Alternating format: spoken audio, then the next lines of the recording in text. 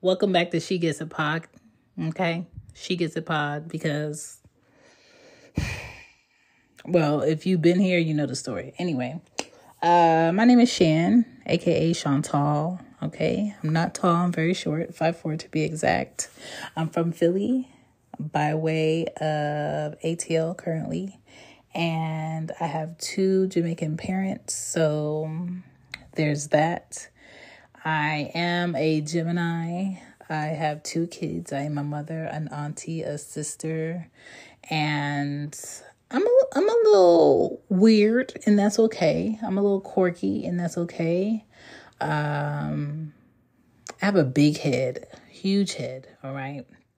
Um, two great melons, uh, juicy, healthy Polly Pocket and I'm just out here sharing, and I'm glad you're here. This is another season, season 22 to be exact. If you would like to find me, you can find me in the social streets at Shambi Podden. ChanBePoddin.com is also my website. I do have creative books for podcasters, people who want to podcast, or people who want to create content. You can find those books on lulu.com, made by me. I also have five other podcasts outside of this one. If you go to chanbepoddin.com, you can see them all. All right.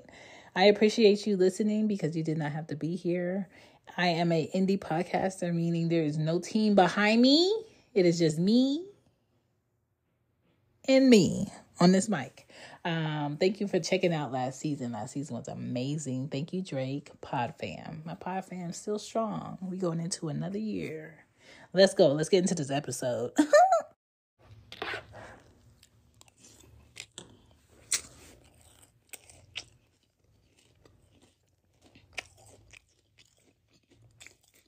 oh, hey. I'm eating pops without the silver bag. And I'm not going to explain that because those who are listening, who are in the correct age range, know what I'm talking about. Is my version of a Sunday morning, but it's really Sunday afternoon. I have a guest to record at 2, and I got time today because I'm doing laundry and changing sheets and blankets and washing duvets and I'm washing curtains. And I'm just like, you know, I got time and this is fresh on my mind. And y'all can have my midday breakfast with me. Um, I wanted to talk about outside energy, that outside energy. And knowing when you're over it. knowing when you're not trying to get a call from everybody, you're not trying to see everybody, you're not trying to be around everybody. And I am here to reassure you that it is perfectly fine. Because all of that other extra shit is unnecessary, okay? There's a lot of bad vibey people outside. There's a lot of good people outside that have good intentions, but they cling on to the wrong people that camouflage that shit. And the thing about getting older is we have less of a patience or a want to break down someone's walls or unwrap someone's levels until they truly show who they are. So if you don't show us what we need to see to start with, people are not going to try to keep coming at you to see if you have another better sense of self. Okay. So, you know how your parents be like, do your best, be your best, show your best. You're going to have to do that. For me, you're going to have to do that. I'm not about to chase no one. I'm not going to teach no adult how to be a great friend or a good person. I'm not here to continue what your mother didn't do. I'm not here to fulfill the areas that your father should have showed up. Let me go get my tea. Hold on. I'm coming. Oh I got my slipper. Stop screaming.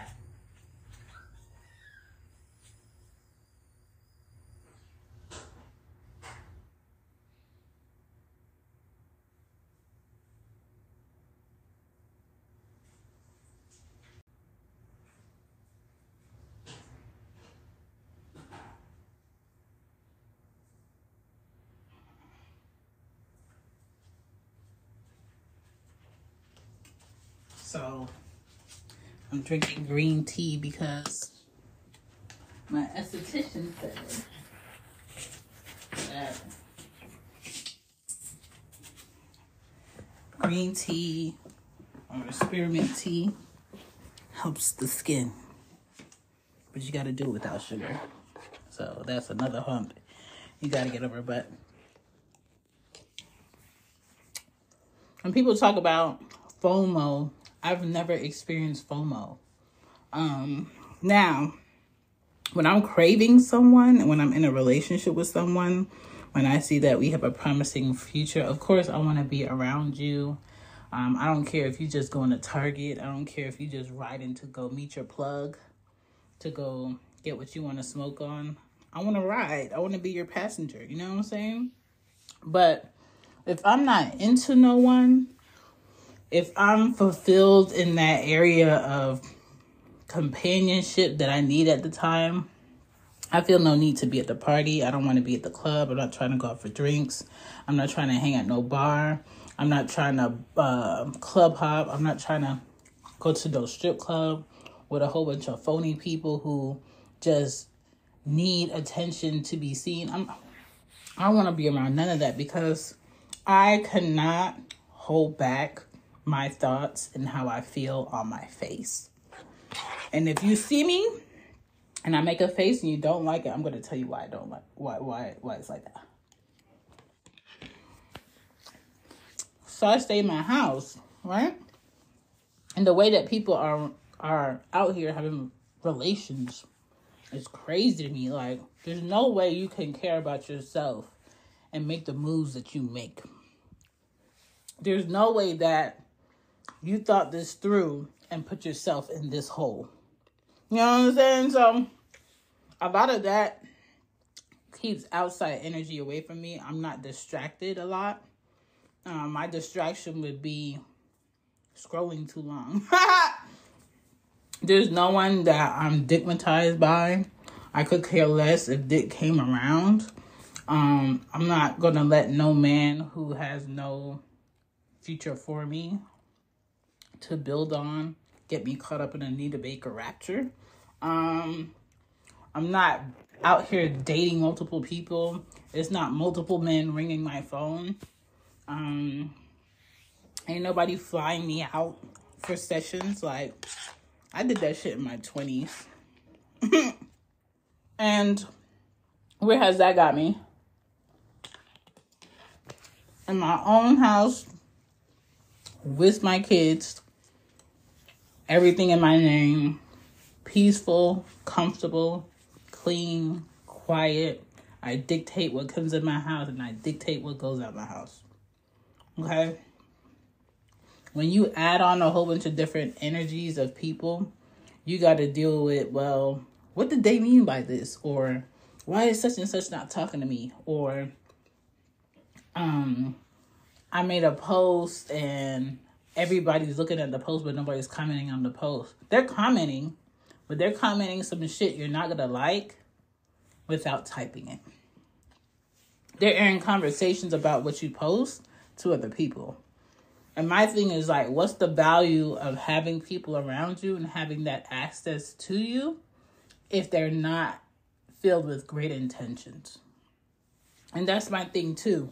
A lot of people get into like their late 20s, their 30s, their 40s even, and you're losing friends or friendships aren't that great. That's natural because if you are maturing and you are moving forward and you want clarity, some people perform best in chaos. So if your aim is clarity and they trying to continue the chaos, you're going to have to make a decision. I'm going to am I going to try to drag them out of the chaos life that they're attracted to or or I'm going to remove myself. And I'm the type of person that I would rather remove myself. Now, you may ask, Chan, you don't go nowhere. She Gets It podcast will be right back. This podcast is sponsored by BetterHelp. It's early in the year, Christmas is done, Happy New Year's were said. We heard them, okay? But how do you feel? It's tax time and frustration is on the rise all across the board. layoffs are still happening, and people have lost loved ones, and the way that life was being lived in 2023 is not what's happening at the beginning of this year. You just need some relief. But sometimes going out with friends or going out with family and talking to them is not help it's not helping. And it's okay. Sometimes you need to find a way to climb out of your thoughts in a positive way. If you need professional help, try BetterHelp. They will work right with you. Contact www.betterhelp.com slash she gets it. You can get started today with 10% off your first month with BetterHelp to get the relief you need to be your best self again. Do not sit in those thoughts. Get the help you need today. Now back to the show. You don't be in the mix. You don't do nothing for real that other people do your age. So, how are you pulling yourself away from the chaos? By not hitting you up as much, by not calling. I don't inquire about other people that I don't know. I don't ask about your relationship. Most people, when they tell me about their relationship, is them telling me about their relationship willingly. I'm not asking nothing. I'm not bringing up no names, okay? Now, most people that talk to me know if they ask me, so what's going on with your boy? I know who they talking about. They know who I'm talking about. But they don't know no names and they don't know no face. Why? Because he doesn't matter because his position is one position only. Let's practice this nuttery, okay? And we practice that nuttery with a condom. Because I feel like this too. Outside energy is definitely with sex. And a lot of people are having bad vibes and fucked up lives because y'all are sharing y'all bodies with someone who has no good intentions for you and is also dealing with their badass karma and y'all are raw dogging. Why the fuck are y'all out here raw dogging people that you have no good intentions with? You have no future building goals with. So, nah, I can't be giving nobody out here my raw energy like that. It's not healthy, it's not safe emotionally you're going to be tied to this person. I don't want to crave a man that has no good intentions for me. I don't want to keep calling you up to come through because I need it. I need it. I don't need it. I don't need it. You know what I'm saying? If your schedule is free, I ain't got no no um, edits to do. I ain't doing no overtime. I got time. I'm not tired. I'm in a good mood and you hit me up and I agree, then it can happen. But I don't care if it doesn't happen. I don't care if you cancel. I don't care if you can't come through. Because I'm not phased by that shit. Because I crave people mentally. And so everybody's different. So if you um, find yourself craving somebody that you deem just a fuck. And that tells me that you're too emotionally attached because I don't crave anyone. I'm not sending no texts, no eyeballs to anyone to come through because I don't care if you come through or not. But if you come through and our schedules align like Captain Planet, we could make something shake. Okay? Most of the people out here should just roll over and get the lotion and rub one out. Okay? Because if I don't mentally connect with you, um mentally you're not stimulating me, uh you don't excite me. We don't really have conversations. We don't deal with each other outside of that session. That I'm not gonna crave you. And that's just how I am. I've always been like that. So it's either I'm all about you, I'm to be in the know of your everyday dilemma, goal, happiness, all of that. But if I don't want to know, I'm not attached. Okay? We could go about our lives. I'm not going to feel bad. You're not going to hurt my feelings. That's another thing. Not allowing that outside energy allows me to be balanced in my feelings. You're not going to hurt my feelings. I don't have any expectations for you because I've our our interaction is capped. Like I know where the top is, I know what I'm trying to reach, and I know when you got to go. When you are a woman and you get to that level, it is superior. And a lot of men may not admit it, but they enjoy a crazy bitch. I ain't never been a crazy bitch. I ain't never called a man a hundred times. I ain't never called a man and said, Hey, are you at work? And he said, Yeah, I'm at work and pulled up at his job. I'm not calling other women that I think you're talking to. I'm not fighting nobody for you. I ain't never been in a relationship where I feel like I need to fight a woman for this man. What? What? When you get to that point, it tells me that you are emotionally unbalanced.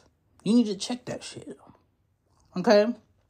So be picky about what outside energy gets to come into your zone. Your zone is where you create, where you have peace, where you live. Everybody shouldn't be allowed to come to your house. Everybody shouldn't know the gate code, have a key fob. Everybody shouldn't be allowed to know what car you gonna be in, what time you gonna get home, what your number is. This is another thing that I do.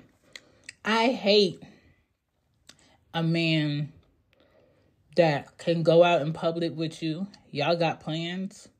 And ever every five minutes, somebody sees him and he know him and they have to have a conversation. Ew. I've been in so many relationships with the mayor of the city type man. I don't like it. I like low key people who don't have to be in the mix but sometimes you might see them there, but they're not trying to be on the main stage of shit. I don't like men who talk too much. I'm a Gemini. I talk enough for the both of us. Okay? I like low key, chill shit, clean shit. A man who's picky about what he do, how he do it, and who he with. Okay? A small group of friends guy. All right? So a lot of that outside energy and that drama shit is limited because they spend their time investing in a small group of people to really get to know them. When you know 30 plus people all the time and all these people can call your phone or all these people can access you, you probably live in a chaotic life. Okay, when you got to remember this life for this person and this life for that person, and who this person don't talk to and who you can't invite, and your party um, takes four months to plan. I don't want no parts. You know what I'm saying? That's too much. I, I've I've been at friends get-togethers and parties and been uncomfortable, not by them, but by the different energies I'm getting in the room. Like there's there's people here that are really not for them there's people here that just came just to see what they didn't like, what they gonna talk about tomorrow. There's people here that are faking phony in the picture and they gonna have a problem later on because they feeling like you don't deserve X, Y, and Z. I don't want to be around that shit. That's that outside energy type shit. That's why I'm very low key.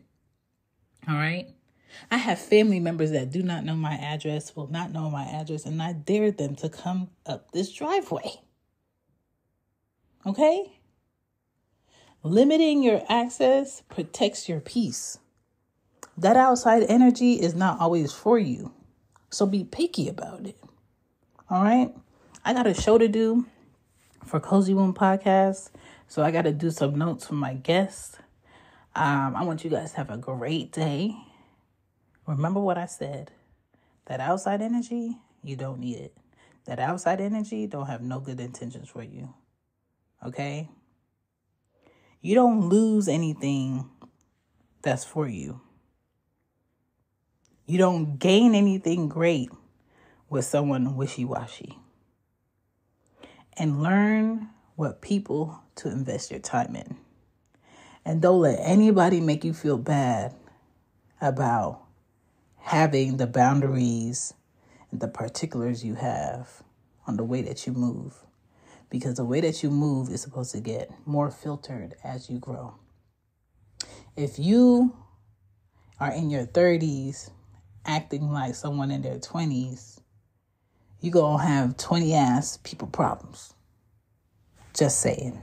My name is Chan. This is She Gets a Pod. I appreciate you for listening. Y'all have a great day, a great night. I don't know when you listen into this episode, but I appreciate your ears and I appreciate you very much. Don't forget to check out chanbepoddin.com. Peace.